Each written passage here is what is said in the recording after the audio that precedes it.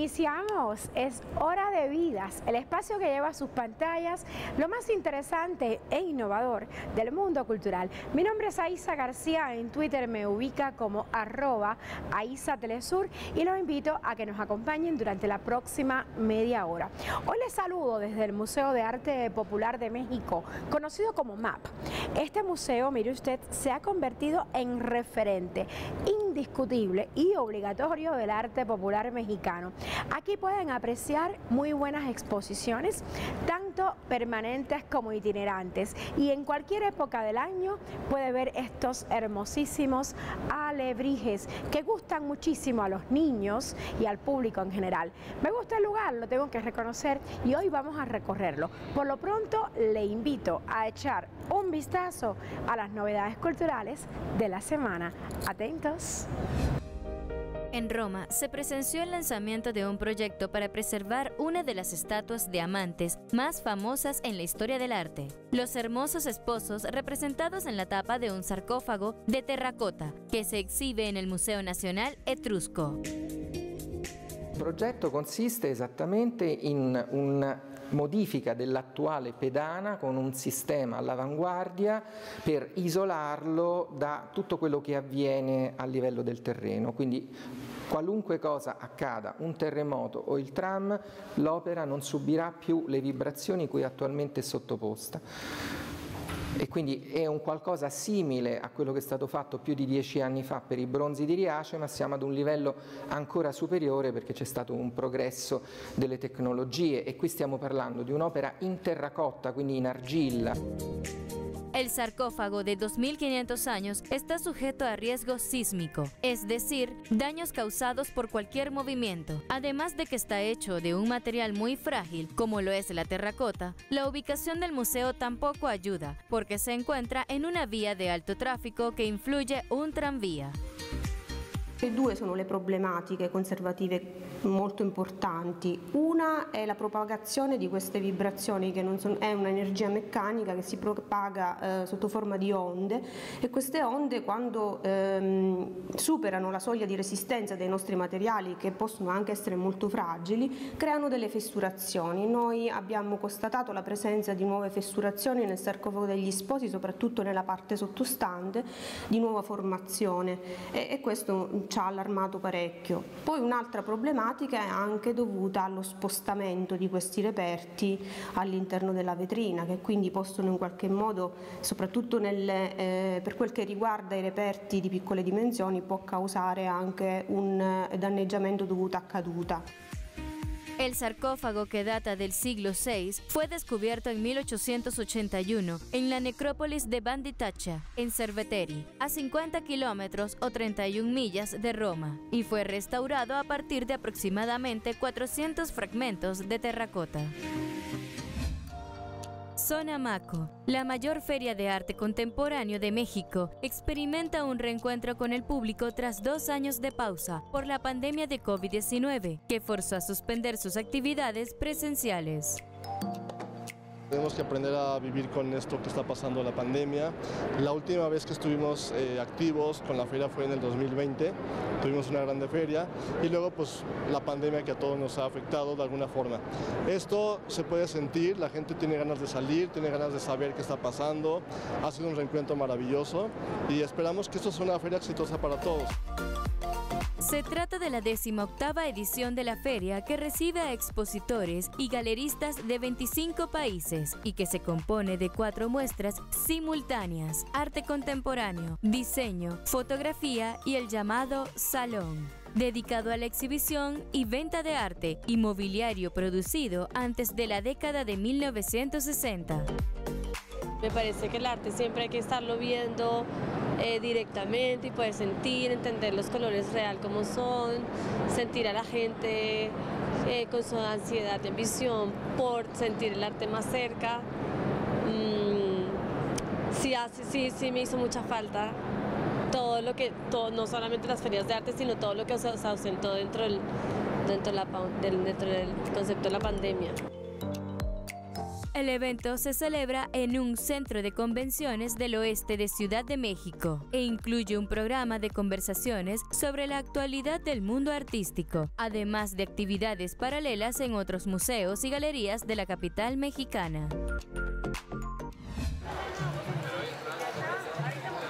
La magia de los tambores otra vez recorrió las calles montevideanas. Después de dos años de ausencia, el desfile inaugural de las llamadas pudo desarrollarse normalmente. Desde temprano, los uruguayos se acercaron hasta la calle Islas de Flores para disfrutar una noche a todo tambor. Eh, nosotros tenemos eh, la gran fiesta del candombe, son las llamadas, desfile oficial de llamadas, este, donde bueno, representamos la cultura afro-uruguaya. Eh, que nos representa en el mundo. Eh, venimos de dos años de pandemia parados, este, sin poder tener nuestra actividad. El año pasado no pudimos tener el desfile, el evento. Y por suerte, bueno, volvemos a pisar Isla de Flores. Eh, el clima acompañó y hoy comienza la fiesta para nosotros. El desfile de comparsas de candombe se realiza en los primeros días de febrero y convoca a miles de personas en todo el país. Este año, por la situación sanitaria, tuvo un aforo limitado, pero el ritmo contagió desde un principio. Esta es la fiesta que tenemos todos los uruguayos del carnaval del candombe. Cuando salimos con la mama vieja, el gramillero, los tambores y disfrutamos realmente de lo, de, lo que es algo típico, arraigo, como hay en otros países, eso es lo nuestro, vivirlo, disfrutarlo, bailarlo, gozarlo y divertirnos con, con, con lo más lindo que es la gente, ¿no? El repiquetear de los tambores, los bailes y el color fueron aplaudidos por un público que desbordó alegría y que llegó desde todos los barrios de Montevideo para participar de la fiesta. Mirá, yo soy el Cerro y mirá, salgo en, la Templando, Puerto Rico, mañana. Y vengo a alentar la, comparsa del Cerro, porque la vía, vamos arriba, la gente, mi gente, y, y siempre ahí apoyando al barrio, apoyando la cultura, que es lo más grande que tenemos. El desfile inaugural de las llamadas es un concurso oficial donde se premia el mejor conjunto de candombe y se valoran tres rubros, cuerda de tambores, danza y desplazamientos y diseño y realización estética. Los ganadores se conocerán en las próximas horas. Más de 50 comparsas van a desfilar entre hoy y mañana por esta calle, Isla de Flores, que atraviesa los barrios Sur y Palermo de Montevideo. La fiesta del candombe volvió a las calles uruguayas. Mateo Grille, Telesur, Montevideo, Uruguay. Vamos a hacer nuestra primera pausa en vidas. Importantísimo que se conecten con nosotros a través de arroba Vidas Telesur, que es como nos ubica en las redes sociales, en Instagram y Twitter. No lo olvide, lo repito, la cuenta es arroba Vidas Telesur. Y es que nos gusta muchísimo la interacción de primera mano. Póngase pilas y escríbanos ya mismo. También son bienvenidos sus comentarios en las cuentas de arroba Telesur TV y arroba programas Telesur. ¿Tomó nota? Perfecto. Avancemos.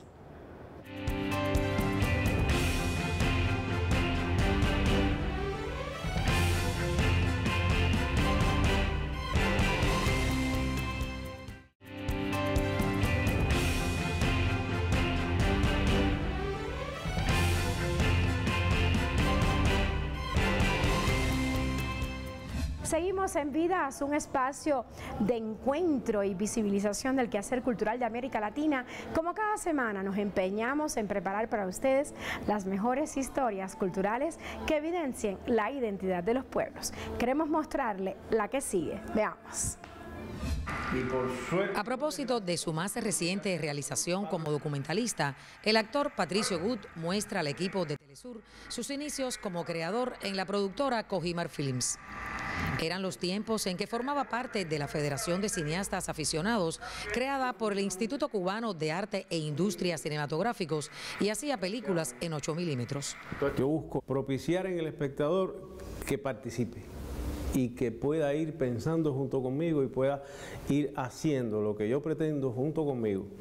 Por supuesto, ahí entramos en el campo de la subjetividad y la subjetividad es muy libre y muy espectacular porque digamos que se fabrica un documental en cada espectador.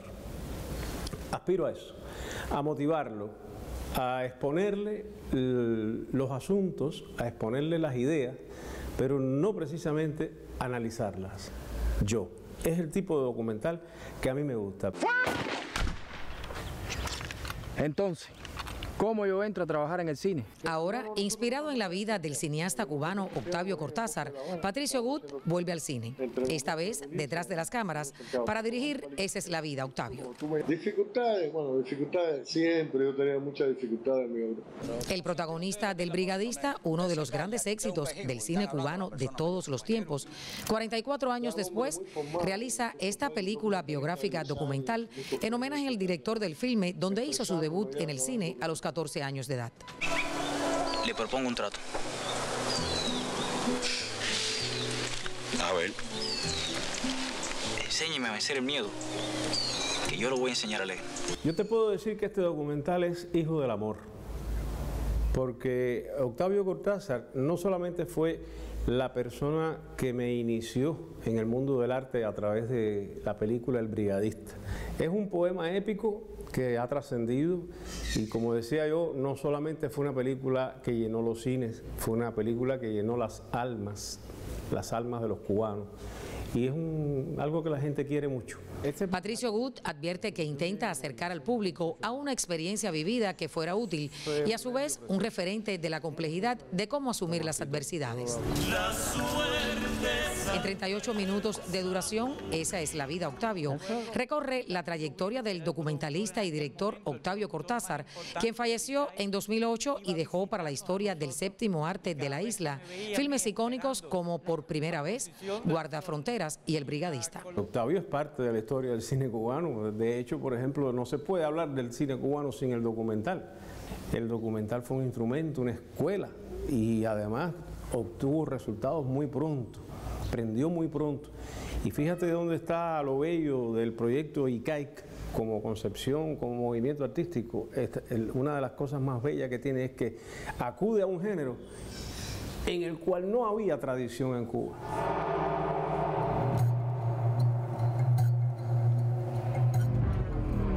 Es mi estilo, un poco en serio, un poco en broma. Esa es la vida Octavio, cuenta parte de la historia de Cuba, su cine y su cultura, a través de escenas de ficción, materiales de archivo y entrevistas a cineastas cercanos al director cinematográfico y profesor Octavio Cortázar. Lo importante es que la gente opine, que no quede intrascendente. Lo importante es que la obra deje una huella en ti, que te marque de alguna manera. Pero yo estoy seguro que Octavio me hubiera criticado. Él siempre me criticaba por todo y a mí me encantaba que me criticara. Esa es la vida, Octavio, es la historia de la vocación y obra de un hombre que entendió al ser humano e hizo un cine sensible, agudo, generoso y transparente. Fabiola López, Telesur, La Habana. Y todo esto que ven aquí no forma parte de una exposición permanente o atemporal.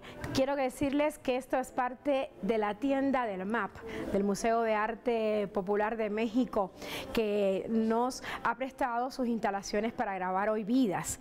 Y con esto vamos a otra pausa en nuestro programa. Al volver les platicaremos más acerca de la danza urbana, también conocida como baile callejero o street dance. Vamos a un corte.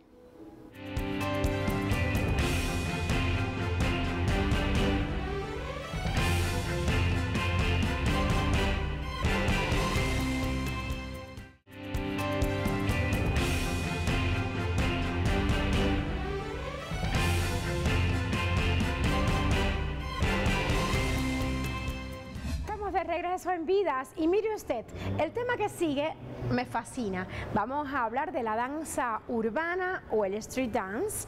En esta ocasión nos enfocaremos solamente en géneros como el break dance o breaking, el popping, el creek work, el locking y el tooting. Vamos a conocer sus orígenes y ejecución. Veamos. La danza urbana, también llamada baile callejero, urban dance o street dance en inglés, es un conjunto de estilos de baile que cuenta con un gran número de simpatizantes en los núcleos urbanos más importantes. Son creados y practicados mayormente en ambientes ajenos a un estudio, como parques, patios, calles y lugares abiertos. Se ejecutan con movimientos muy marcados y energéticos, alternados con otros movimientos más discretos pero que requieren una técnica minuciosa. Pueden ser bailados de manera individual o en colectivos y dan lugar a vistosas y elaboradas coreografías. Entre los tipos de danza se encuentra el breakdance o breaking, el cual forma parte de esta cultura urbana surgida en las comunidades afroamericanas en los suburbios de Nueva York, como el Bronx y Brooklyn, en los años 70. Este baile combina una serie de movimientos aeróbicos y acrobáticos propios de los aborígenes, las artes marciales, la gimnasia y el funk. La lista de movimientos que se emplea en este género es enorme y requiere gran dedicación y disciplina. Savoir que ça tourne autour du rap et de la musique hip-hop. Et il y a aussi un style de vie, un style vestimentaire aussi, il y a un certain code. Mais maintenant, en 2021, il n'y a plus trop en soi, parce que chacun est influencé par, euh, par ce qui, ce l'entoure. Donc il y a des personnes qui vont avoir peut-être un style plus euh, de skater, d'autres ils vont avoir un style plutôt casual, classique carrément.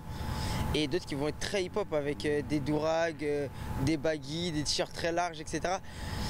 Donc euh, je dirais que ça a pris une place tellement grande dans notre culture que, maintenant on peut retrouver des, des danseurs et des b-boys partout.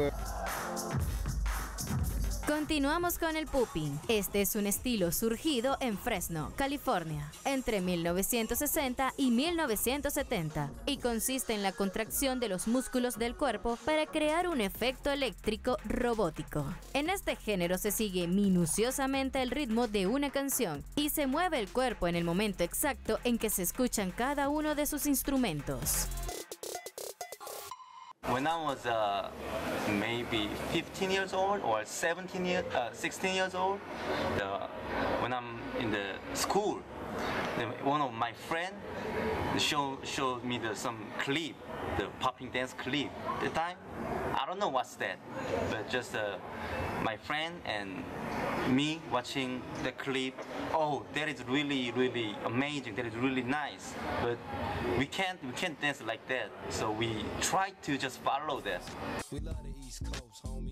El Creek Walk, también conocido como el Sea Walk, es una danza que se originó también en la década de 1970 por miembros de The Creep Gen in Compton, que es un suburbio de Los Ángeles, California. Consiste en un continuo movimiento de pies usado para explicar detalladamente imágenes y símbolos relacionados con los gángsters.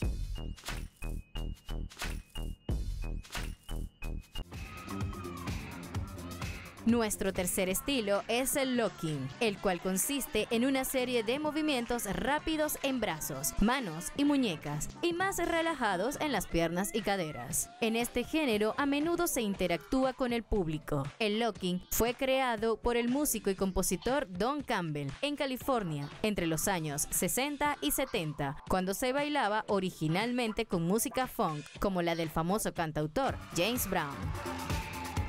Remember when I was younger, I saw the rocking to me like, oh, that's my dance, you know, like, wow, so funky. That's my dance. That's my like a like a destiny, you know. So when I when I'm dancing, then after I met people, people told me, thank you very much. I'm so enjoy your dance. I'm so enjoy your rocking. Thank you. I'm not a good. Rocking is great. So maybe people make make her happy. So this is dance is really good. I think we can do we can do training together. We can enjoy our culture.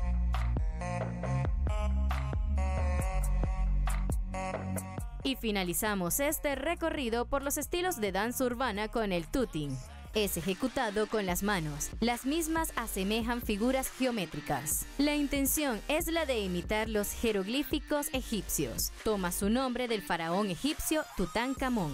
En la técnica del tooting clásico, los bailarines buscan formar estas figuras con todo el cuerpo, por lo general con las manos, brazos y piernas, mientras que en el finger tooting se utilizan exclusivamente los dedos para crear las figuras. La danza urbana comprende los variados estilos anteriormente mencionados, todos ellos originados del baile popular, una manifestación de la herencia africana e indígena de las calles de Estados Unidos. Actualmente se convierte en una expresión de la sociedad y de la cultura urbana. Y así hemos llegado al final de esta vuelta por el mundo de la cultura. Hoy me quiero despedir con un pensamiento de Antonio Machado, quien fuera poeta emblemático de la generación del 98, dramaturgo y narrador español. Él decía, en cuestiones de cultura y de saber, solo se pierde lo que se guarda, solo se gana lo que se da. ¿Qué tal? Eh? Opine sobre esto en nuestras redes sociales. Nuestra cuenta en Instagram y Twitter es arroba Vidas Telesur. Por ahí nos encontramos las 24 horas del día. Soy Aisa García y les deseo un feliz día. Nos despedimos hoy con el tema Mi Compromiso, interpretado por La Vic Rabia, agrupación chilena formada por Sebastián Orellana en la voz y guitarras e Iván Molina Vanik en batería y percusión. Yo los espero dentro de siete días aquí en Vidas. Chao.